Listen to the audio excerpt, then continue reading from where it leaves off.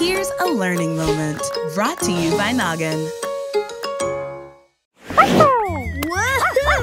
Josh, we need a judge for our monster toss. I love the monster toss. Will you judge with me? Great! Thanks. Thanks.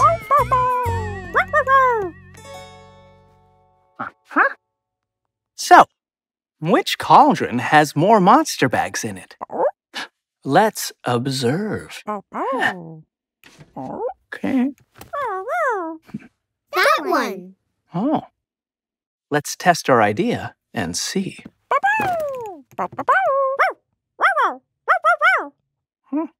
Okay, so uh, one, two, three, four. Four monster bags. And one, two, three, four, five, six. Six monster bags. Hmm. So which cauldron has the most monster bags? Ooh. It's that one. That one! Right!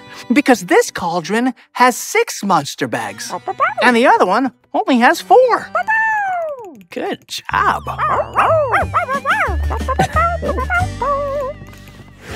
Find more learning videos in Noggin and ask your parents to subscribe to Nick Jr.'s Noggin YouTube channel for new videos every week.